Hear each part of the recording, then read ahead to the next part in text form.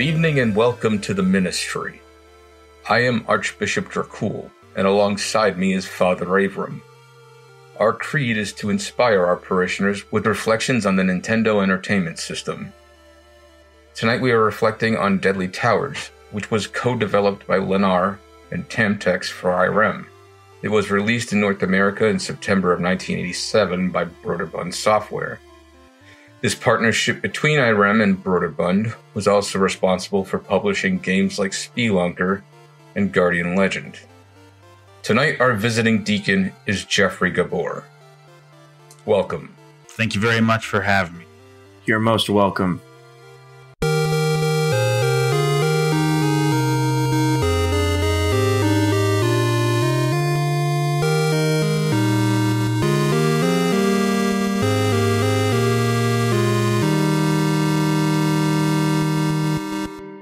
Testament to the Creators. Junichi Mizutari.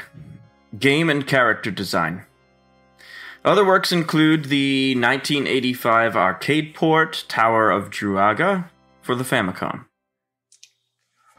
I have to say, I've I played this game, and while I understand its influence to like dungeon crawlers everywhere, I found it to not hold up in the least bit. It is, it makes it kind of makes sense. Um, It's a sloppy Yeah. game. given the frustration, the frustration factor is really high on that game. So uh, you know, I'm not, I'm really not surprised.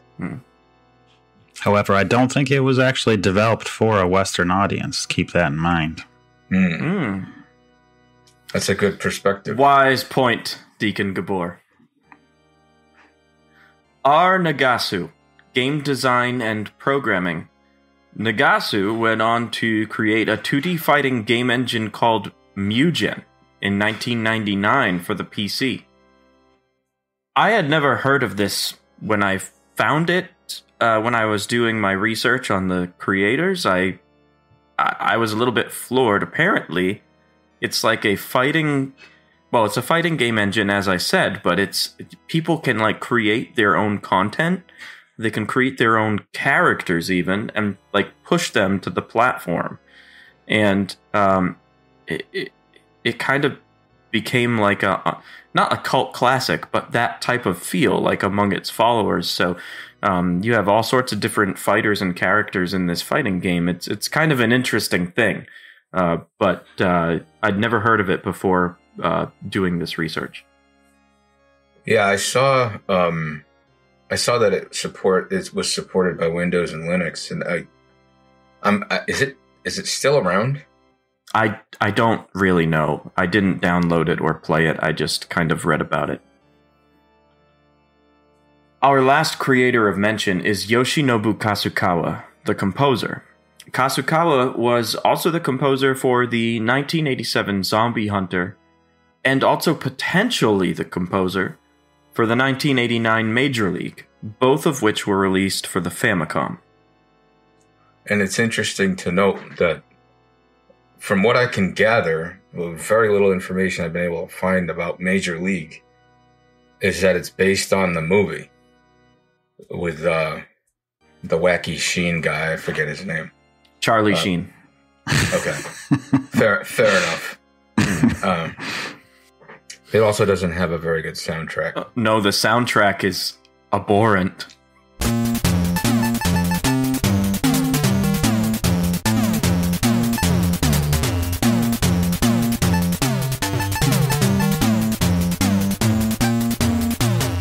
Maybe he maybe it was an uncredited work, which is why he's only potentially the composer. I could not find any confirmation that that was true. It was just kind of a big question mark.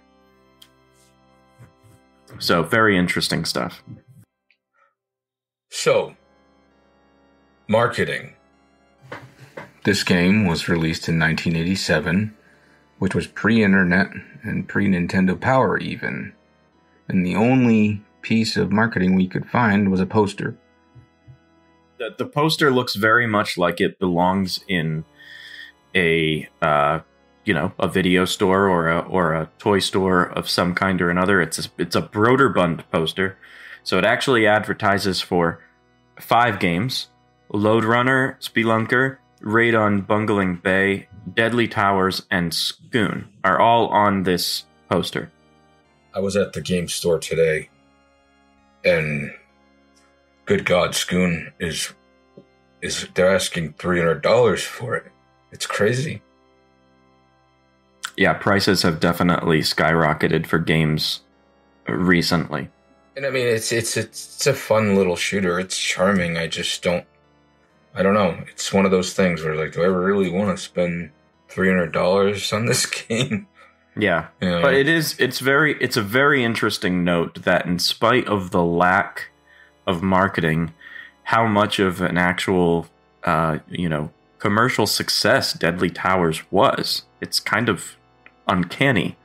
Uh, it seems like every player out there that had a Nintendo somehow managed to find this game in their collection, which is why it's one of the reasons why it's so cheap yeah, today is because it's just there's so many of them. Yeah, I feel like in that first year, first couple years, there weren't that many games to actually like pick and choose from. So when you saw the poster and saw what it looked like, it looked like it was going to be like a sequel or, or a, you know, like Legend of Zelda. Uh, so I think people wanted to give it a chance. I certainly did. Uh, I saw that cover, uh, and there were actually even at the time. It's important to put in in reflection. Not only was there not really Nintendo Power or the internet, even like the rental industry wasn't really quite there yet for video games.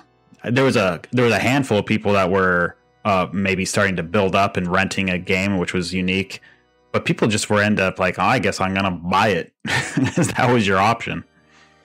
yeah, and and you're hundred percent correct. Like the the the video stores were the the concept of even renting VHS tapes, never mind video games, was still extremely new.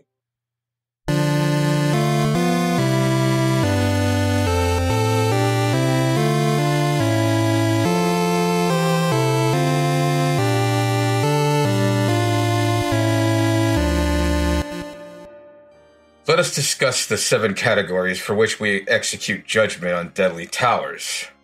Category one is the narrative.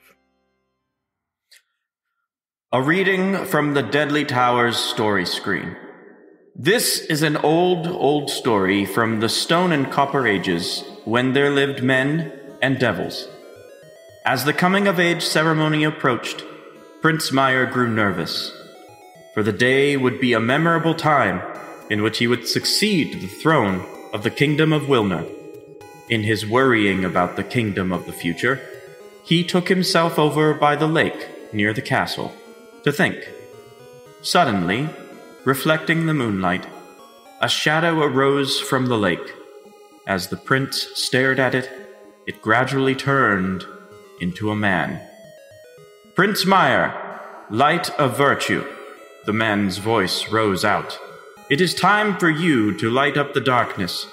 Rubas, the horrid devil of darkness, is plotting to extend his power over your kingdom.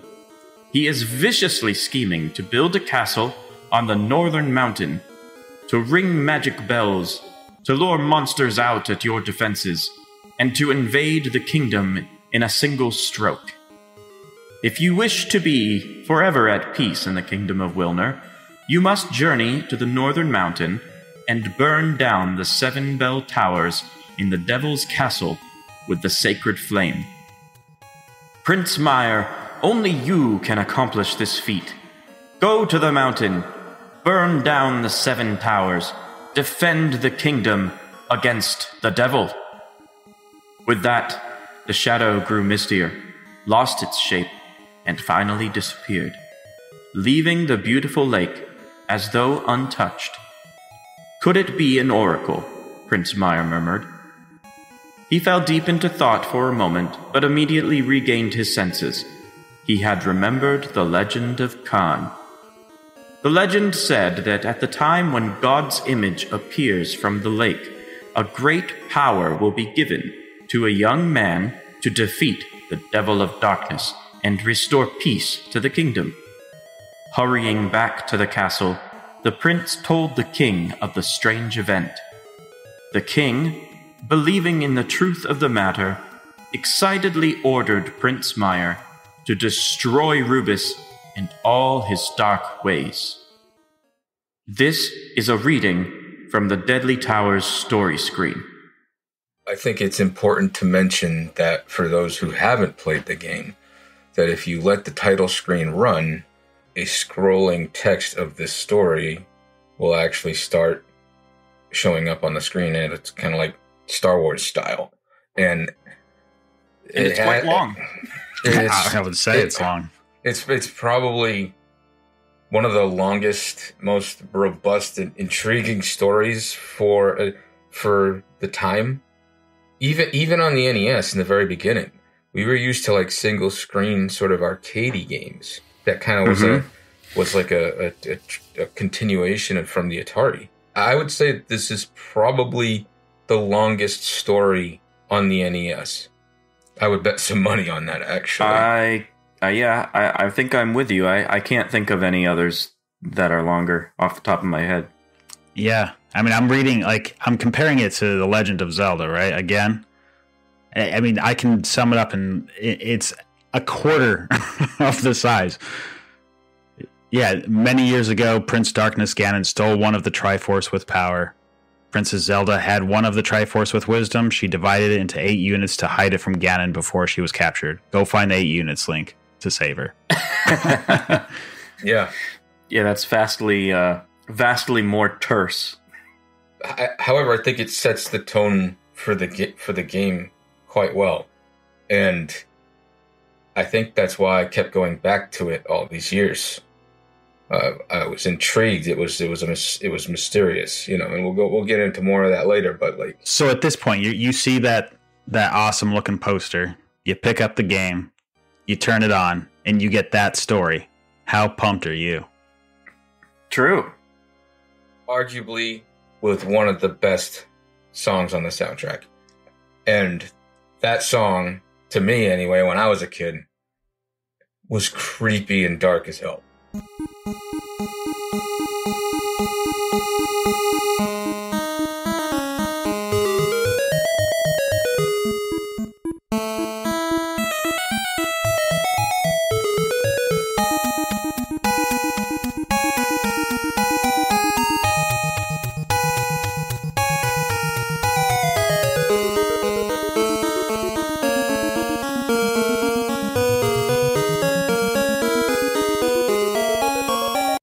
Proceed to category two audio. I found the soundtrack in this game, with the exception of the story screen, to be painful and repetitive. Now, granted, I do want to say that it had some flavor, but I feel like every single room in the game, in one shape or form or another was basically the same song with a different twist on it. And that that was just it gets really annoying really fast because of that.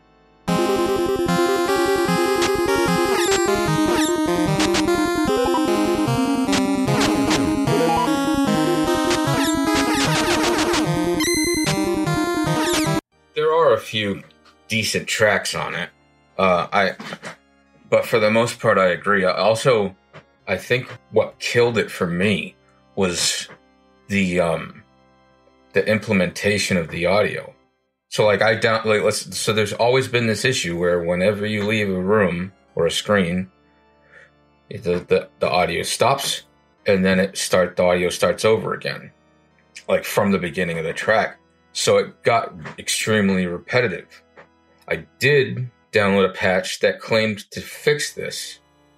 And while, yes, when you left the room and entered the next room, it picked up from, up from where you were before, but there's still that pause in between rooms. So it'd be like ding, ding, ding, ding, ding, and then ding, ding, ding, ding, ding, ding, ding, ding. You know what I mean? It was, it was it was disappointing because I thought that they maybe were, were, able to work around that, but um, I guess that's that's something that I, I don't know why That is, Legend of Zelda doesn't do that. It's like as the screen is loading, the music is still going. Yeah. I, I will say I found it to at least be catchy. At least that. So, like, p- playing it years ago, hearing it again, it has like vibes of nostalgia. So it does get it in your ear a little bit to at least uh, tickle you years later. I do agree with that. It is absolutely catchy. It's it, there are a lot of Nintendo songs, I believe, that are just like they're they're not memorable at all.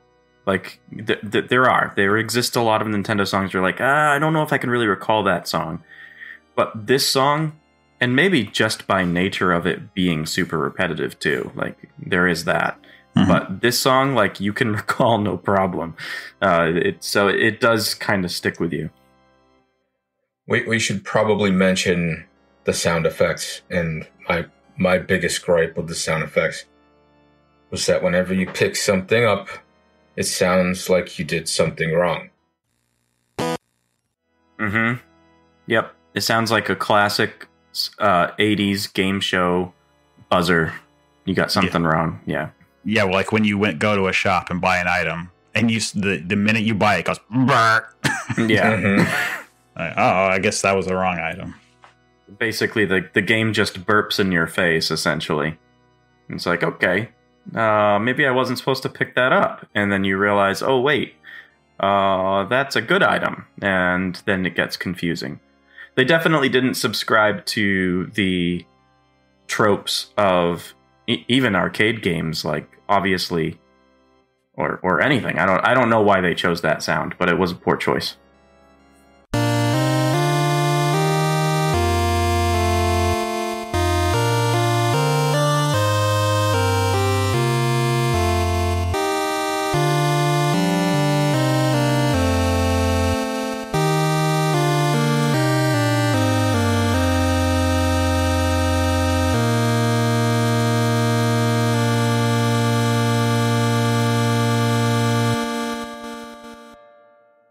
Let us proceed to category three, which is gameplay.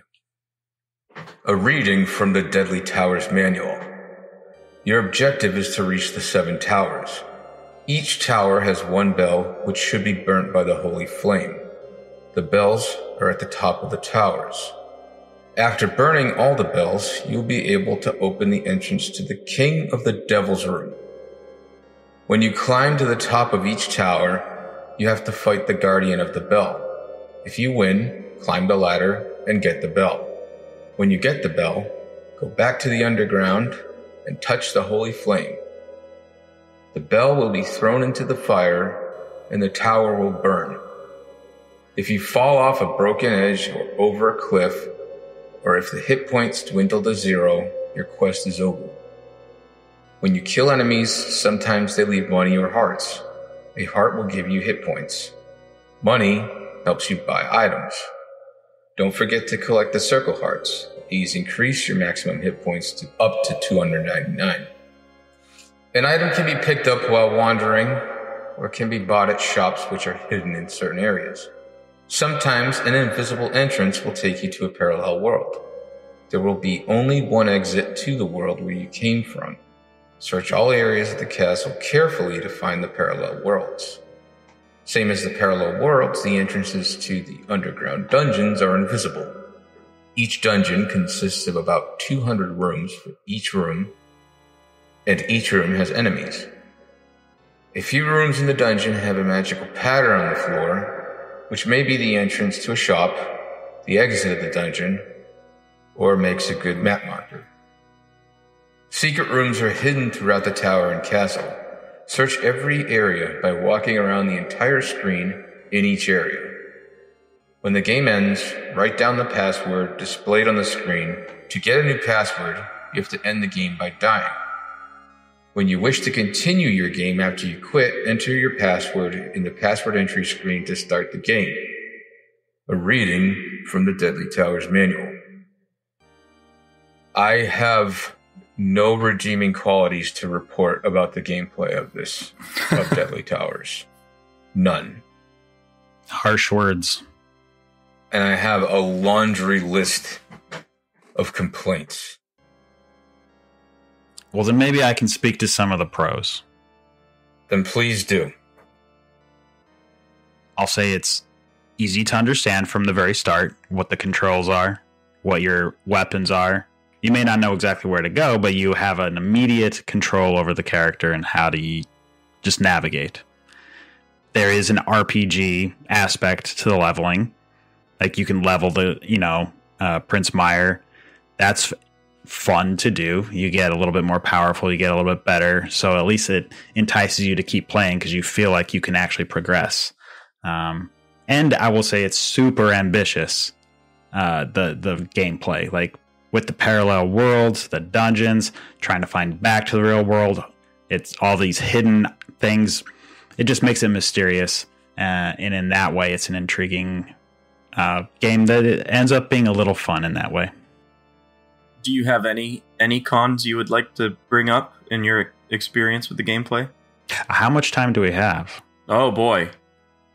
Well then, let let us allow uh, Archbishop Dracul to uh, to speak his mind. Please. While Deacon Gabor brings up some very excellent points that I actually agree with and kind of rescind my last comment. I will actually say though, the good definitely does not outweigh the bad. Like there, there are it, one of the thing, one of the most frustrating aspects of this game is that you get thrown back when you get hit. Now that might not seem like a big deal, but like in the very beginning of the game, you're incredibly weak, and being thrown back means that you could bump into something else, therefore throwing you back again, potentially throwing you in into the previous room you were in.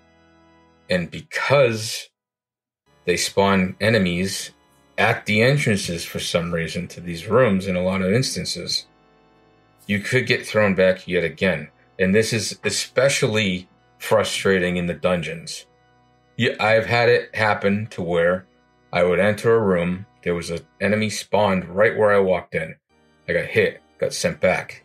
Got hit by the enemy there, got sent back down, hit by another one, sent back out of the second room, and literally had a chain reaction of going from room to room until I died. And I had nothing, there was nothing I could possibly do. Not, not to mention also in the castles, there's these little jagged edges to the walkway. Those are considered cliffs, and if you and, and you can fall off the castle and die. It's not uncommon for you to be walking, and then all of a sudden, these little terrible creatures or entities just attack you with no warning, and they're going extremely fast, and your reaction time in the very beginning of the game is very slow. So you would most likely, if you were anywhere near a cliff, you wouldn't go backwards. You would go down the cliff. You wouldn't go the opposite direction of where you got hit, which was a very bizarre choice in my opinion. The combat mechanic only allows one sword to spawn on the screen at any given time.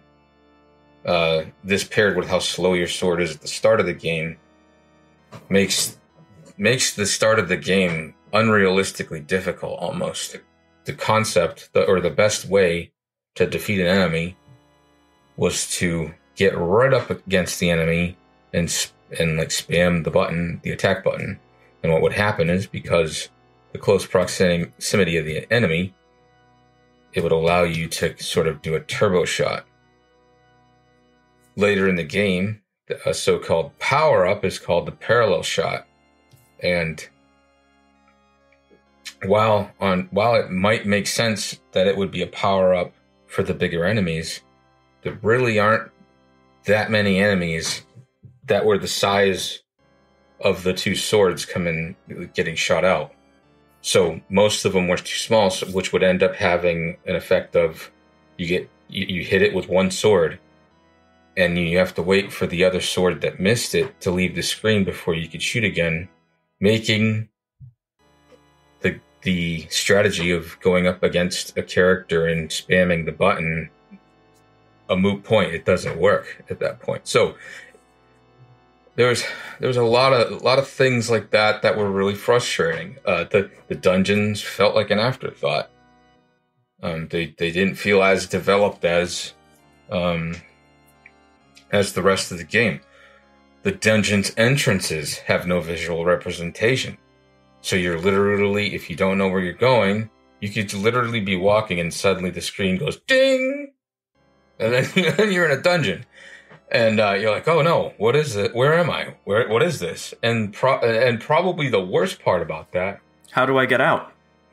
How do you get out? Because you can't exit the same way you enter. well, I'm sure that there must be a map you get, right? Uh, well, there was only one map on um in the man in the manual.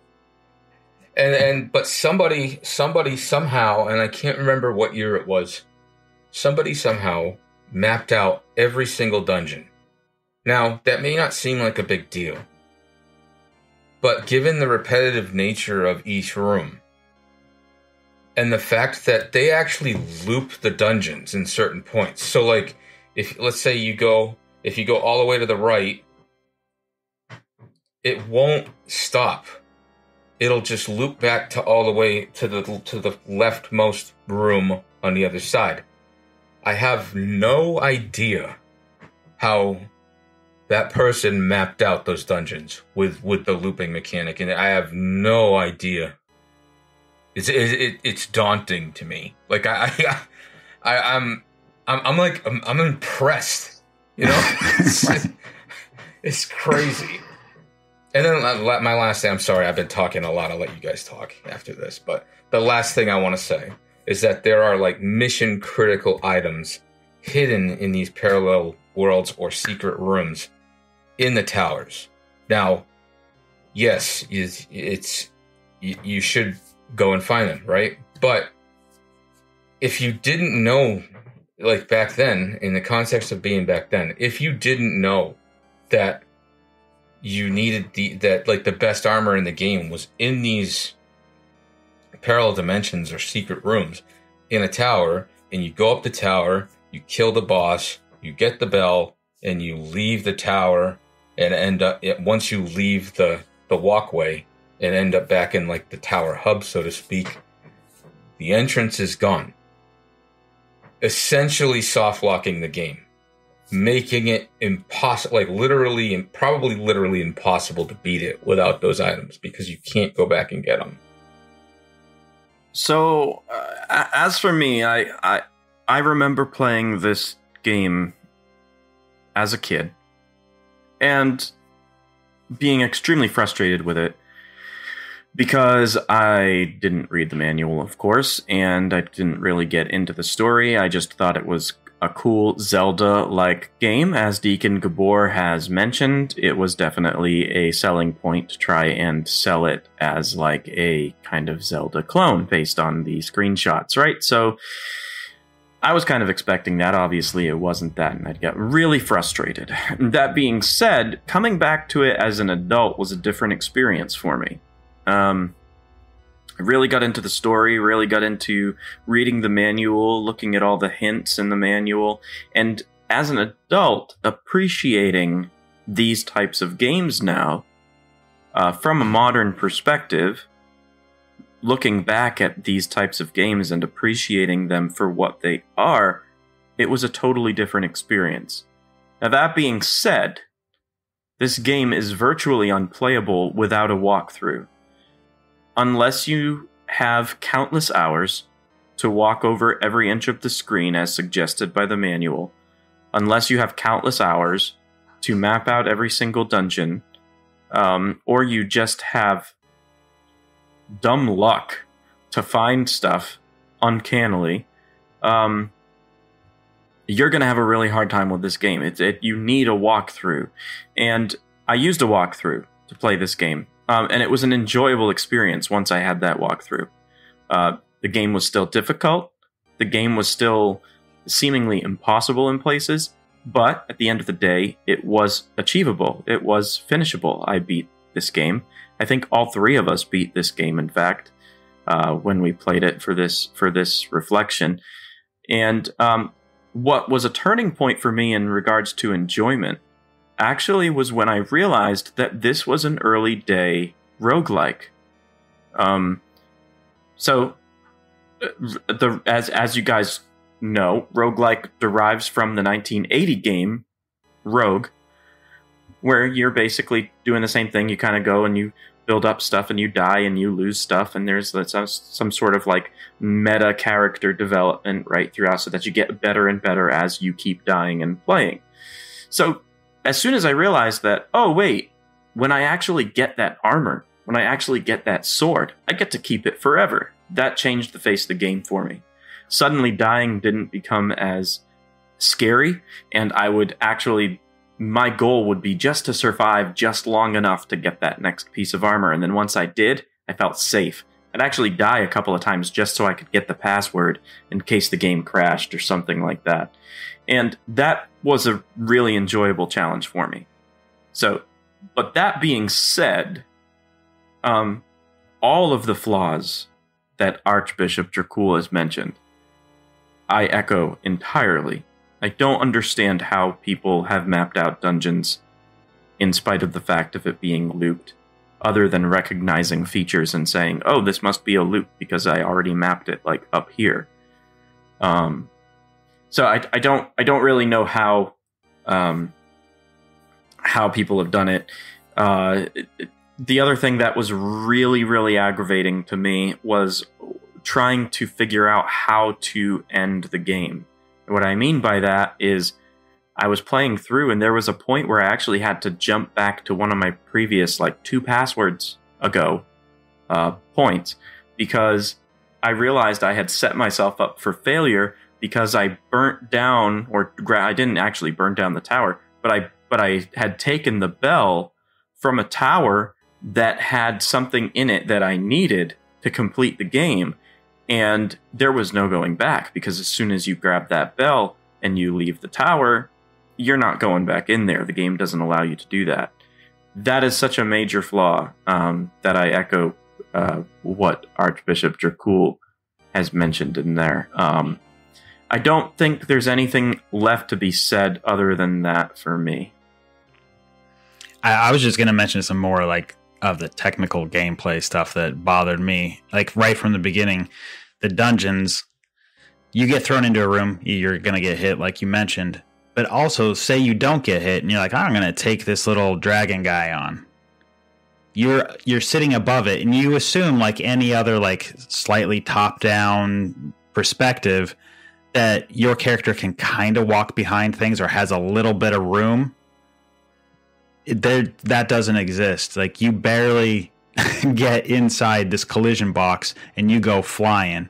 So that that three quarter down perspective doesn't really make sense. And it also the rules of that are all over the map. Sometimes one character oh and the the uh the idea that like your sword can sometimes pause the enemies, right? Like it's like okay, once I hit them, it'll stun them, and then they'll stay in place, and I'll finish them off.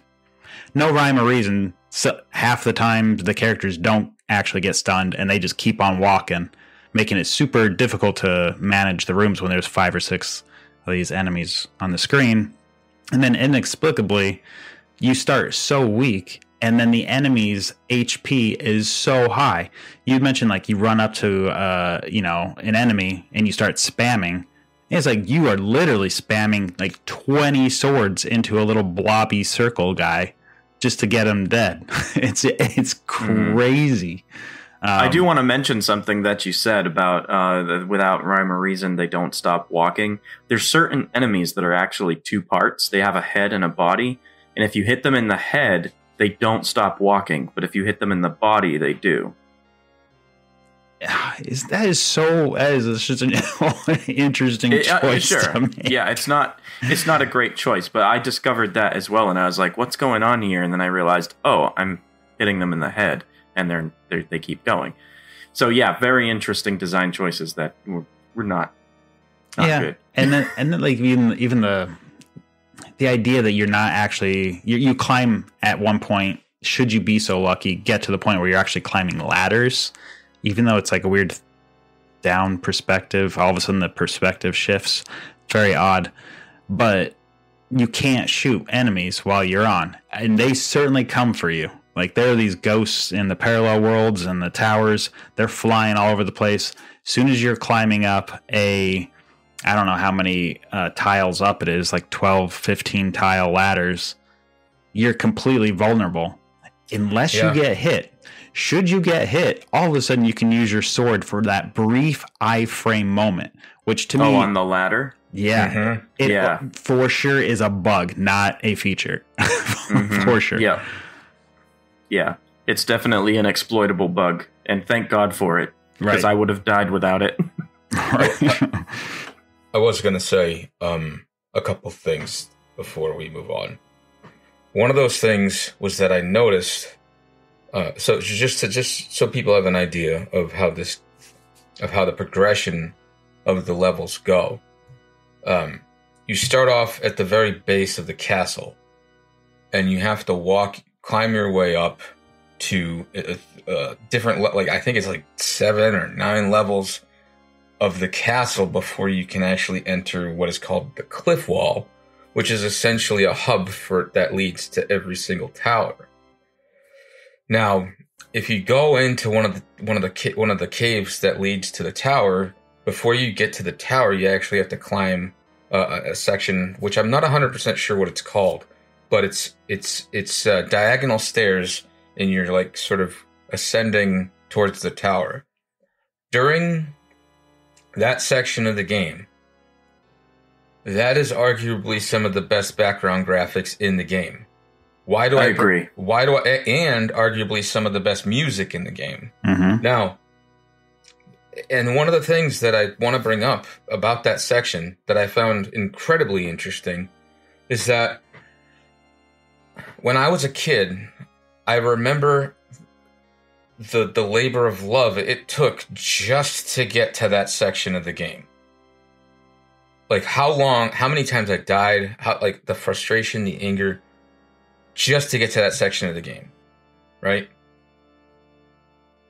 Nintendo of America had had very strict rules about things uh, about uh, about how in order to uh, to publish on their system you had to abide by these very strict rules one of which is you cannot use religious iconography in the game in your game i was climbing that section and noticed there were crucifix shaped windows. Now, you may not think that's a big deal, but the interesting thing is that DuckTales, for instance, in the Transylvania level, in the Japanese version for the Famicom, had crucifixes on the coffin that Nintendo of America made Capcom take out. Which means either they didn't see it as a crucifix window, or they literally never got to that section of the game because it was so difficult. It's up for Very interp- interesting point. it, it's up. yeah. It's up for interpretation.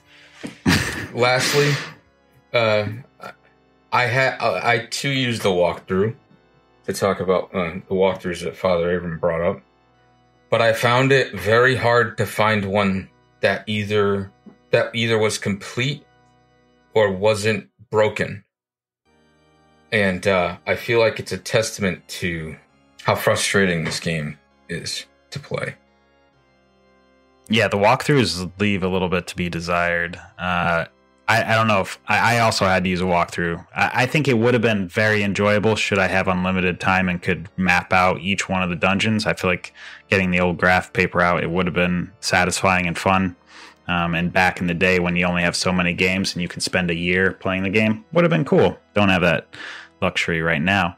Uh, but one of those walkthroughs said that the parallel shot that you mentioned its flaws earlier was the best item in the game. So I was so excited to get it and start using it. I was like, what is going on? This thing is horrible. It's It is- worse. It it is. I I, I would say I would I would literally say it is the worst power up on the NES that I've run. I, I I actually would have agreed with you until I revisited the fabled Ghosts and Goblins recently and picked up the torch. I, I don't I don't know. I, I don't know because the torch doesn't change the strategy, right? It's you're still attacking. With the I- parallel, you're still attacking, I mean, I guess regardless no. of how slow. You, you're you're attacking at literally. It's, yeah, it's because you're you're attacking at literally the same frequency that you are at the beginning of Deadly Towers because you have to let the flame burn out before you can throw another one. Yeah. it's still an attack. Pa- eh, but like, but but the parallel shot literally takes your strategy of attacking out of the game. Uh, yeah, no, I I agree. I I still I, I I still contend that it may not be the worst, but it is definitely in the top five worst power ups on the NES. and it, it is very difficult to get. So you're looking for a big reward. It's not there. that. That being said, the double shot is what you should go for. There Right. you go. That Stay- that is a huge reward. Stay away Yes. from the parallel shot. When I when I was playing and I got the double shot, I was like, "Oh my god, it's so much better!" it's like Mm-hmm. it's so it was infinitely better. And Uh, don't don't make the mistake of like, all right, well, I picked, I just happened to pick up the double shot first, maybe. Leave, burn that tower, then they pick up the parallel shot. Oh no, I want to go get my double shot back. Nope, that tower's Yeah. gone. Yep. Yep.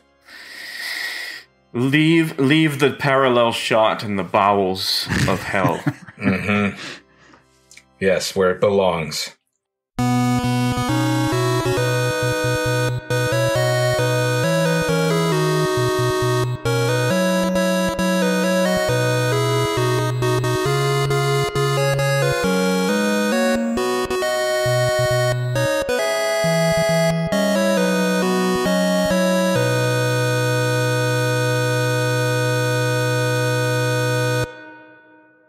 Us proceed to category four the graphics. Aside from the dungeons, I really liked the background graphics. Mhm. I I, uh, I thought they were detailed and interesting and very mysterious. I also thought that the addition of like the character in the jail, the Mhm. little goblin in the jail, was a nice slice of life sort of thing. Uh, which, which, by the way, it, you can kill him, but you'll lose all your money. And when I say we haven't discussed the fact that money, the currency in this game, is actually called Ludder, so I, should probably bring that up now. uh, I, I found the I, so yeah, I found the, the backgrounds in the castle, in the cliff wall, in the towers, to be quite decent. Um, I but I didn't find the enemies to be inspired at all. Uh, you fight things like blobs and flames and wind. You're this guy in a suit of armor, which doesn't look like the box art at all. Um, in fact, he he he is modeled off of the Famicom box art, which was uh, a little bit more anime themed. So that's why when you look at the cover and you turn on the game and you see this guy in this blue jumpsuit with horns, you're like, "Oh, what what happened?" And uh, but we'll get to the box art and presentation in the next section. But the graphics, yeah, I'm not, I'm not, uh, I'm not, I'm not a, a huge fan. Um, I, I think one of the things that that is that that I found most interesting were like the windows and like the the uh, the, the faces in the walls. You know, there is it's just interesting, mysterious. You know, I, I would say that the graphics uh, for this game are are half inspired. Uh, I did not like the representation of Prince Myer. It left much to be desired, and it was a stark contrast to the rest of the universe. Um, the dungeons were also uninspired. Uh, they all the rooms basically they just did palette changes uh, and used the same graphics over and over with different palette changes, and then either doors would be there or doors would not be there. Um, and then every once in a while, you get like the same graphic on the floor where a map marker is, which may or may not be a shop hidden in the center of the map marker or the exit. Um, but yeah, the uh, the the enemies were half of them were bland, like single color type of representations, um, and the other half, like the humanoid type characters, I thought were pretty well done. Um, there were some bosses that I thought were very were very uh, uh, uh, Stupid. I guess the ri- uh, stale, stupid. Um, and but then there were other there were others that were actually pretty cool. I really actually think that the best boss in the game is Great Wing, uh, visually. Um, that's all I have to offer. What you don't like? You don't like beet plant? it's a weird name. at least, at least the the sprites were big, which was very unusual for the NES at the time. Like even even Prince Myer was, I think, two tiles high. Um, I mean, his animation was only two frames, which is rough, but it is still that was pretty cool to see um, such large sprites, and the the bosses were huge.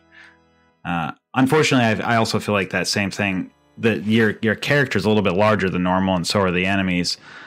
Uh, however, for some reason, when you get into the dungeons, the vast majority of the visual real estate is taken up by walls, and you're you're left with a teeny tiny little play area to move around. Which, of course, then that's why we get the problem of knockback, being walking into a room and instantly getting spawn killed.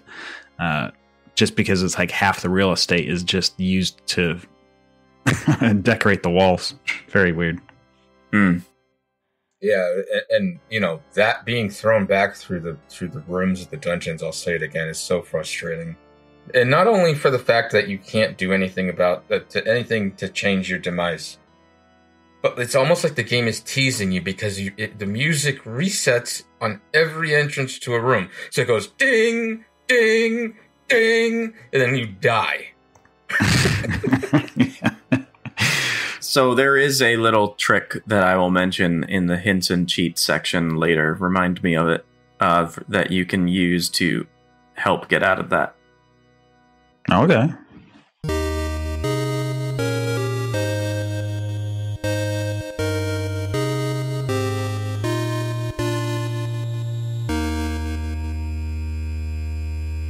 Let us proceed to category 5 box art and presentation. A reading from the back of the box. You are young Prince Myer, setting out to defend the ancient kingdom of Willner. Rubas, king of the devils, has built a castle in the north and is preparing to invade your kingdom. Ringing magic bells, he is calling out an army of the most terrifying creatures known or unknown to man. To defeat Rubas, you must journey to his palace and burn down his seven bell towers. On your quest, you will collect weapons and armor to defend yourself against rats and crawlers, bats, snakes, and slime, demons, dragons, and more. You'll need every ounce of help you can get. Understatement of the year.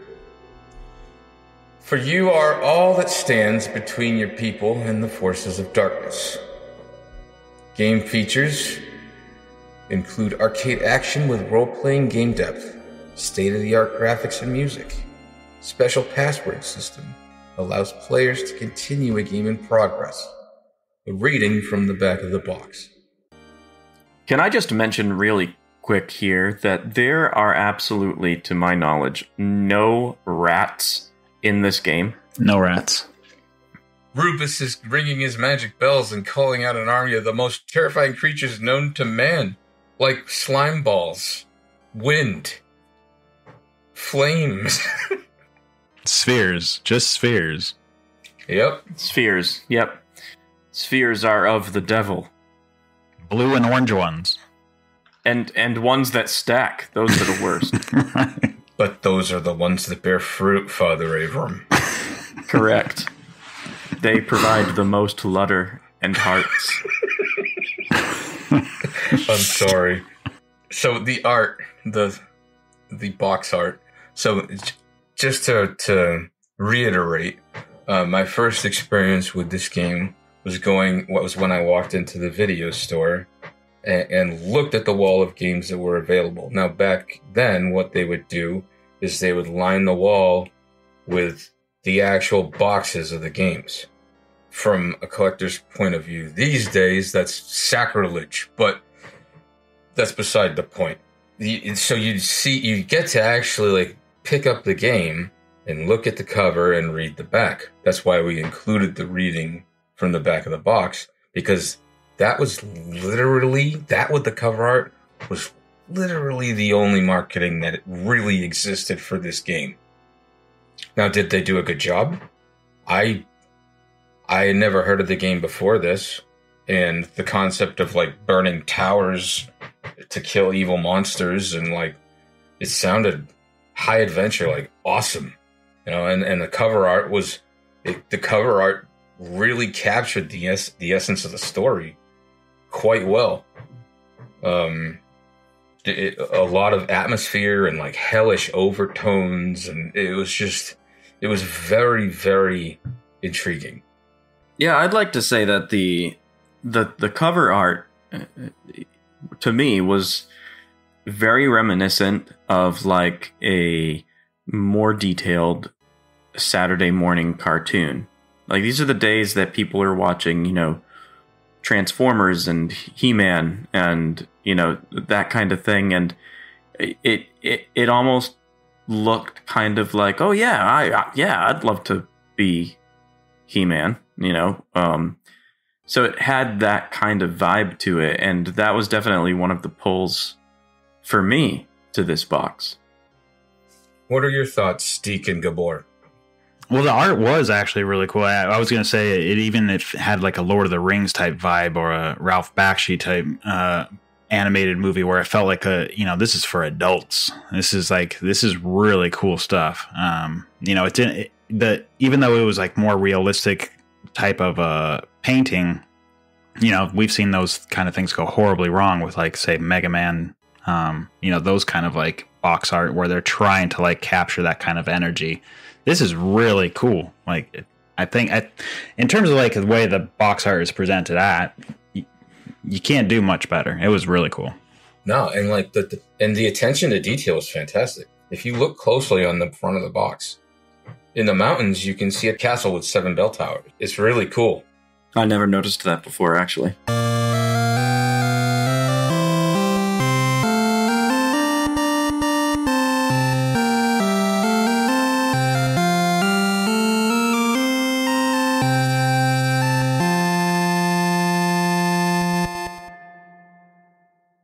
Let us proceed to category six, which is the fun factor. We talked about the how we used um, walkthroughs to play the game, which, from today's standards, us being arguably full-grown adults, you know, so we don't have the luxury, like Deacon Gabor said, of just sitting around and and trying to figure this thing out like we did when we were kids. So we did use a walkthrough. And I found that once you pick up, there's two things that, that you pick up that like literally change the game. Like it's almost like a light switch. When, and those two things are the hyper armor and the hyper gauntlet. When you get those two things, the game opens up like monumentally and actually becomes a pleasant experience, all things considered. Now, the the downside of all of that is if you look at it from the context of being a 10-year-old boy throwing this game in and trying to make sense of it, it wasn't fun to like literally walk around every grid square in the game just so you can find a dungeon or a shop. All things that should actually have should have had visual representation in my opinion. Yeah, that was going to be my fun factor uh, review, pretty much, uh, pretty much, almost verbatim. with the uh, exception of saying, with the walkthrough, I enjoyed it. However, at face value, and considering my experience as a child with this game, it was not fun. You need to know the secrets. You need to know the secret handshake, really, in order to have fun. Quite honestly, though, with some small tweaks, it could have been fun. It could have been fun if they had done visual representation of stuff, gotten rid of the cliffs, and, you know, uh, didn't have looping dungeons with 200 rooms. I feel like the game could have been a lot of fun. And Father Avram actually started the process of picking apart the ROM and trying to figure out how to A make, redaction? how to make those little changes to make the game playable. I just thought I'd throw that in here. Yeah, I'm not sure if it's possible. They we'll get into it on the technical section next, but uh, it's it, it it's very complicated. Yeah, I, I will say I had fun playing it now uh, with the walkthrough. Like, I would actually recommend it for people that are into uh, older video games. Like, get the walkthrough; uh, you can actually have a good time with it. Um, but I actually distinctly remember renting this game as a kid. Uh, I had a stomach ache, and I got a game to rent over the weekend.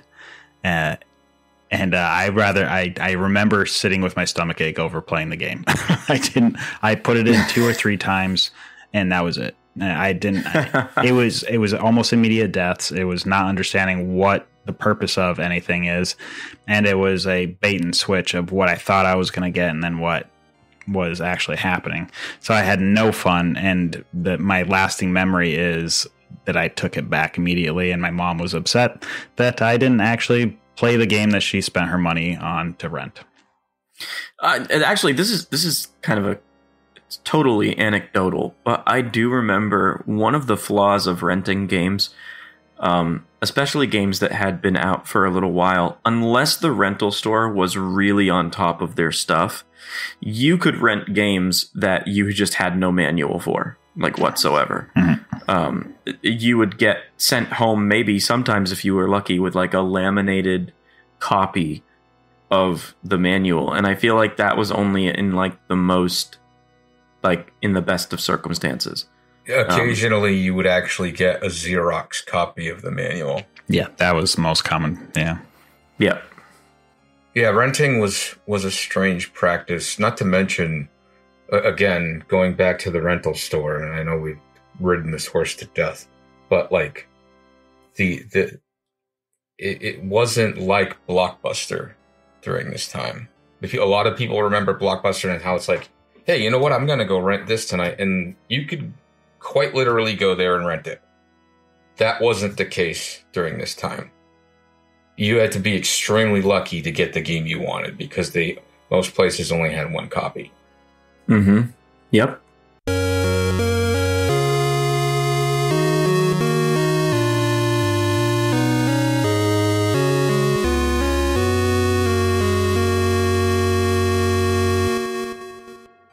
Let's proceed to category seven, which is technical. Like I have no real cons aside from maybe the bug that Deacon Gabor explained earlier, where when you're on the ladder, you can like shoot up and down, but you have to get hit first. Because I never knew that being young growing up. Playing recently, going up the ladder and be like, what in the hell? Why can't I shoot up or down? I don't know who made that decision, but that's a gameplay thing. Anyway, technically speaking, given the fact that throughout the castle, eh, specifically the castle levels for some reason, you are inundated with enemies. More so, I think, than any other NES game I can remember. Even though it was just like enemies were everywhere, which was usually what would trigger the slowdown in other games. So that for me is a pro. I also have uh, almost no cons uh, to um, the technical side of this because they actually did a lot of really impressive things uh, with this game on a technical level. First of all, the game is massive. I don't know if it's the largest NES game in regards to number of screens. Well, I'll, I'll just interject and say that the retrospective that the Retronauts uh, did on this, they did like a, a five to seven minute video on YouTube. And they said that there is more screens in this game than Zelda first and second quest combined. It's crazy. Yeah.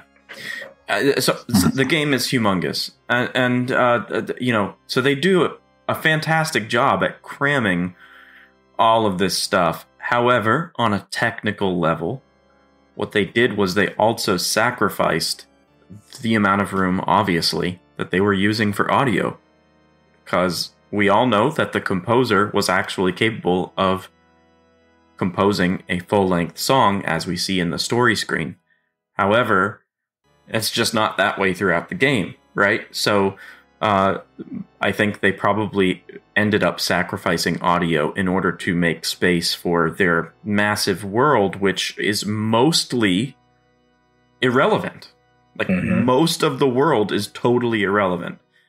I have a theory that the game originally, like the game was originally just the castle the cliff wall and the towers. I really think the dungeons were added on. It, that very well could be, um, but uh, still, like it's still a very it's it's a feat um, to really get all of that information in an NES game.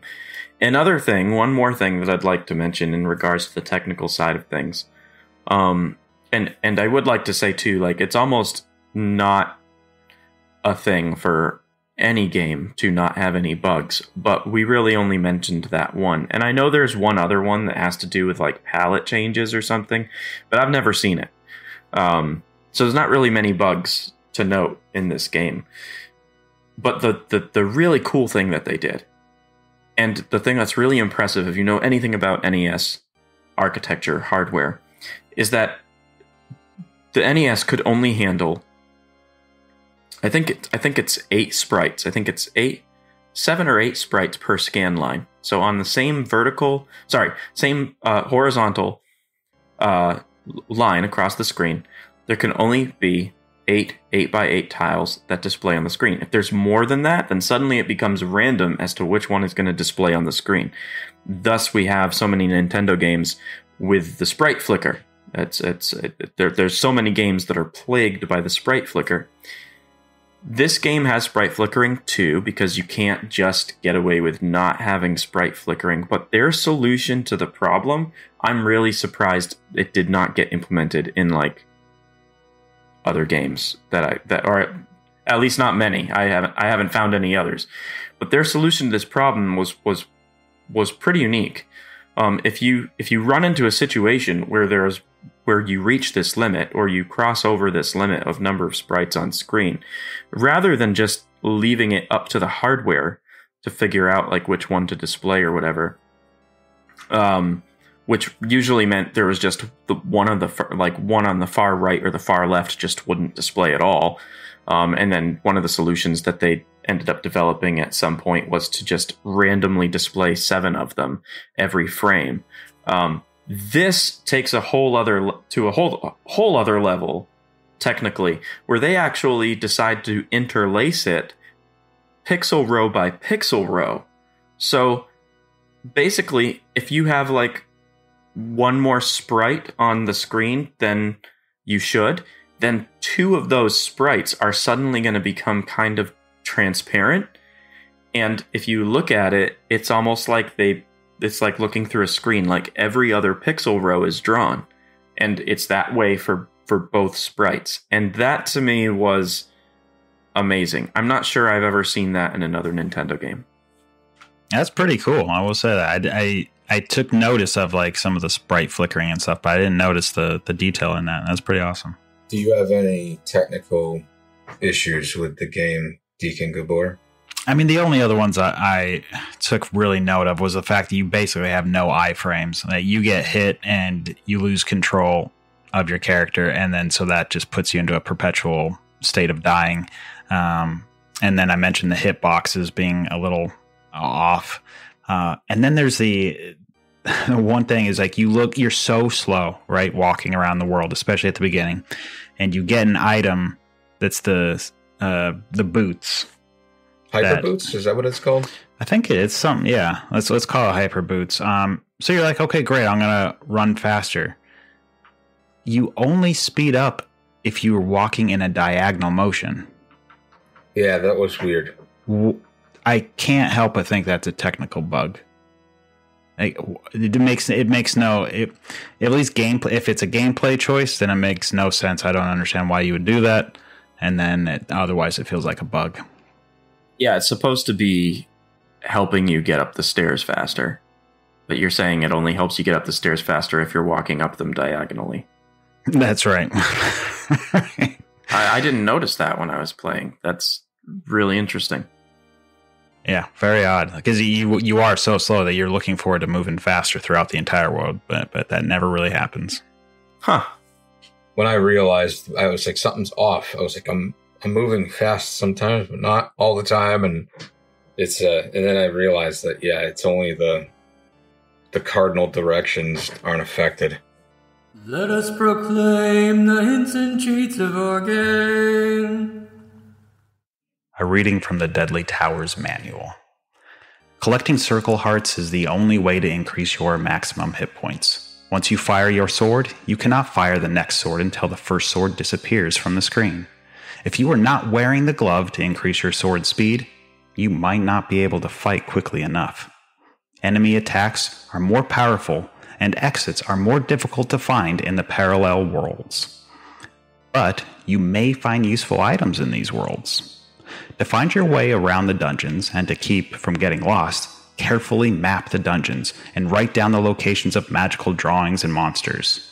Burning a bell will allow you to recover hit points, but you can also keep it and burn it later. After you get the bell from the tower, the enemies in the tower and outside the tower may become more powerful. When you get a bell at the top of the tower and return to the underground, the entrance to the tower will disappear. A reading from the Deadly Towers manual. The the concept that they that they just said uh of like you can hold on to your bells. Uh, oh my god. I was playing the other night. I think I think Deacon Gabora you were watching and I yeah, this was good. I I had four bells, and I walked up the, to burn one because I needed to refill my hit points. Now, keep in mind, I was only going to burn one because because of the two Uh, because of two really poor gameplay decisions.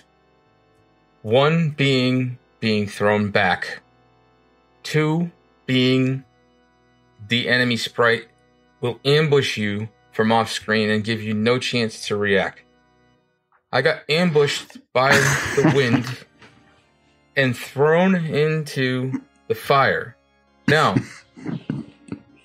you may say, what's the big deal? You were going to touch the fire anyway. Well, when the game, when the game, when you throw a bell into the fire, the game, I, I believe, and Father Avram would be able to attest to this more than I would, but when you throw the bell into the game, I believe the game literally pauses and they play music and effects and then the game starts again. So what ended up happening was since you get thrown back when you get hit, the wind threw me back and I kept moving back into the flame, therefore burning every last one of my bells with no way of, of stopping it. That's devastating. uh, but hilarious. Yeah, there. I, so in regards to hints and cheats, that there's actually so the reading from the manual that's all excerpts, little little footnotes that are collected uh, throughout the manual, uh, compiled into one reading.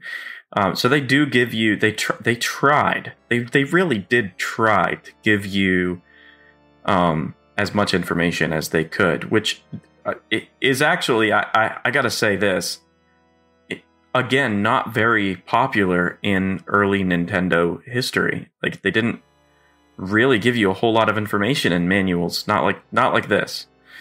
Um, so that was cool. Uh, but they they there is another cheat.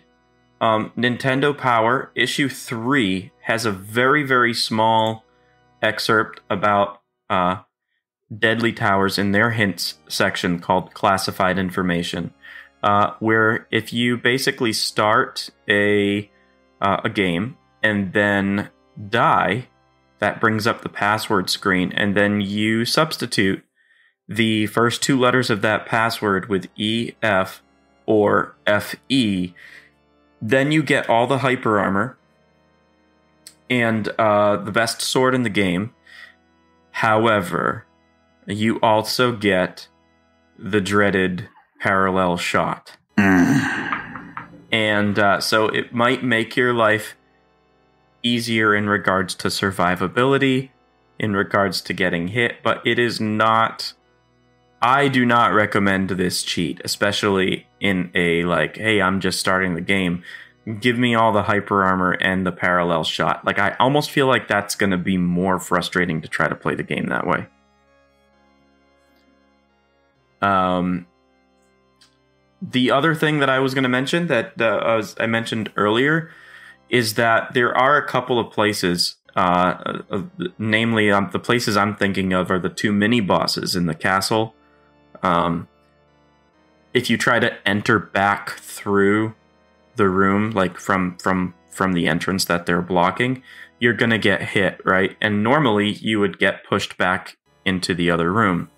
However, whenever you're doing a room uh, transition, you can actually get out of that loop. Sometimes I don't know if it's hundred percent, but you can some kind sometimes get out of that uh, that transition by uh, by pushing diagonally in the direction you want to go as you enter the room. Hmm. So, um, because the hit mechanic in um, in the game is based on the uh, direction you are facing, not the direction that you got hit from.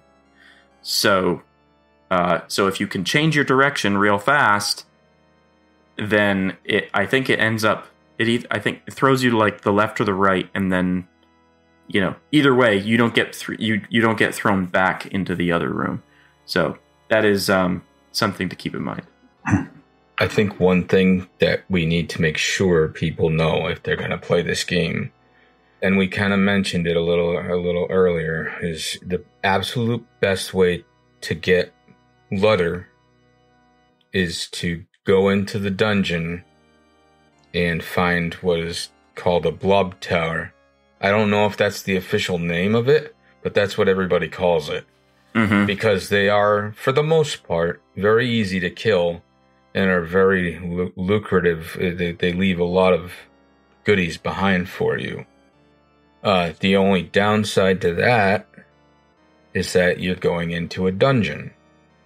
And if you die, which you probably 9 out of 10 times you do when you go into a dungeon, you're going to lose your money anyway. So I if you it's kind of this catch 22. Well, you need the money at the beginning of the game to get the, the, the basic armor from the dungeons. So mm-hmm. it, it's at least a, a good starting hint. At some point, the Ludder kind of loses its value as you gain hyper armor, but there are still some valuable items that you can buy from the shops. Um, so, uh, towards the end of the game specifically, you might want to go and load up on items before you head to the last boss. I I vaguely remember being a kid and somehow finding a password. Uh, I I don't remember where I found it, or maybe it was a fever dream. I don't know, but like I remember getting a password where I had everything and all the bells were burned, and all I had to do was go and beat the boss, and I couldn't do it because I didn't have the blue necklace. It's very unfortunate. Anyways, do you have any uh, passwords or stories, anecdotes you want to share with us, Deacon Gabor, about hints and cheats for Deadly Towers? I got nothing. Just find a walkthrough and enjoy it that way.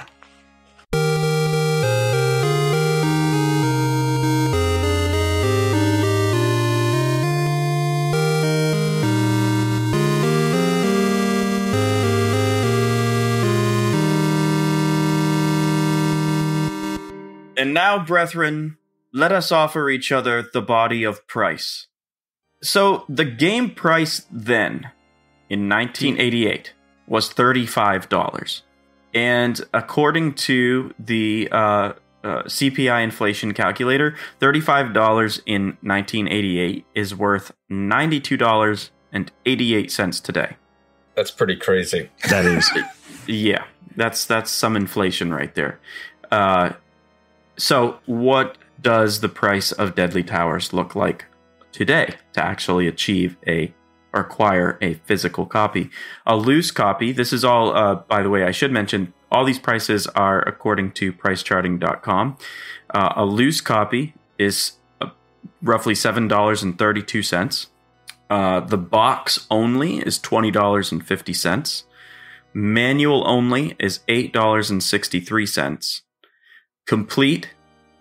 That means you know inbox with the manual and a loose copy, forty dollars and then a brand new sealed copy is two hundred ninety-four dollars and sixty-six cents.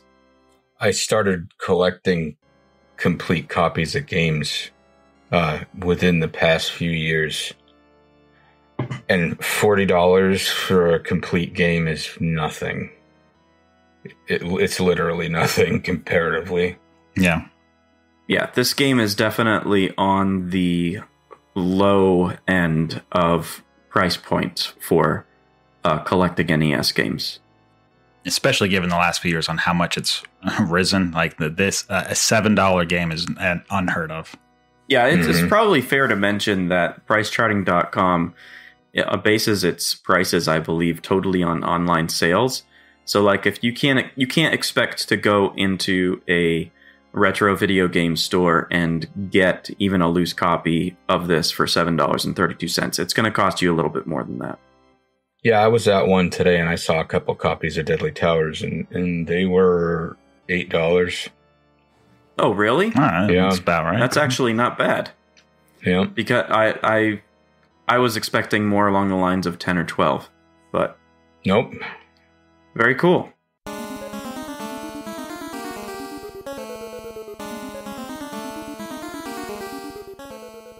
Let us now execute judgment upon Deadly Towers and decide which of the seven cardinal sins it has committed. Father Avram, in regards to narrative, what is your final judgment? In regards to narrative, Deadly Towers has committed no fault. Deacon Gabor, in regards to narrative, what is your final judgment?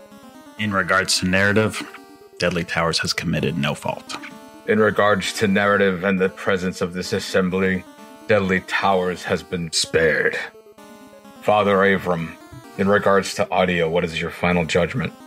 In regards to audio, Deadly Towers has committed a most heinous cardinal sin. Deacon Gabor, in regards to audio, what is your final judgment? In regards to audio, Deadly Towers has committed a most heinous cardinal sin. In regards to audio and the presence of this assembly, Deadly Towers has committed a loathsome cardinal sin deserving of hellfire and damnation. Father Avram, in regards to gameplay, what is your final judgment? In regards to gameplay, Deadly Towers has committed a most heinous cardinal sin. Deacon Gabor, in regards to gameplay, what is your final judgment? In regards to gameplay, Deadly Towers has committed a most heinous cardinal sin.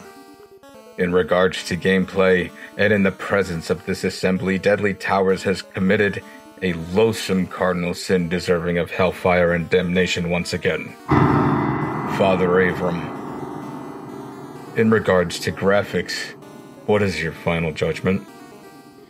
In regards to graphics, Deadly Towers has committed a most heinous cardinal sin. Deacon Gabor, in regards to graphics, what is your final judgment? In regards to graphics, Deadly Towers has committed no fault. In regards to graphics and in the presence of this assembly, Deadly Towers has been spared. Father Avram, in regards to the box art, what is your final judgment? In regards to box art and presentation, Deadly Towers has committed no fault. Deacon Gabor. In regards to box art and presentation, what is your final judgment? In regards to box art and presentation, Deadly Towers has committed no fault. In regards to box art and presentation, and in the presence of this assembly, Deadly Towers has been spared. Father Avram, in regards to fun factor, what is your final judgment? In regards to Fun Factor, Deadly Towers has committed a most heinous cardinal sin.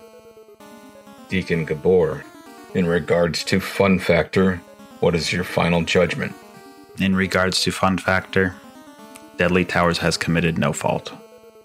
In regards to fun factor and in the presence of this assembly, Deadly Towers has committed a loathsome cardinal sin deserving of hellfire and damnation. Father Avram, in regards to technical, what is your final judgment? In regards to technical, Deadly Towers has committed no fault.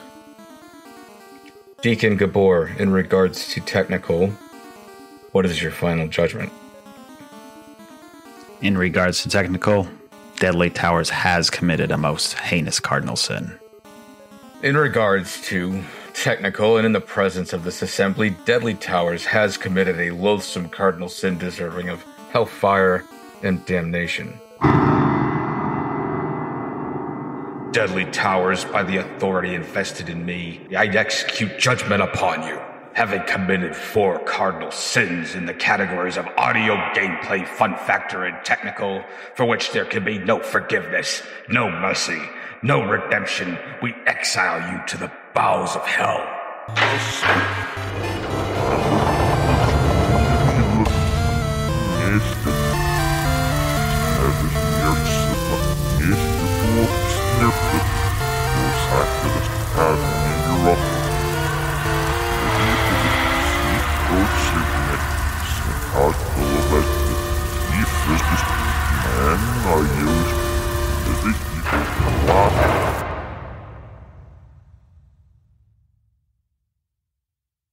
This concludes this evening's service. Remember, our liturgy does not simply come to an end. Those assembled are sent forth to bring the fruits of the ministry to the world.